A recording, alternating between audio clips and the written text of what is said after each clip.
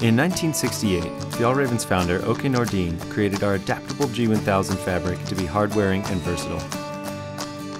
This fabric can be adapted with Greenland wax to create a natural water resistance.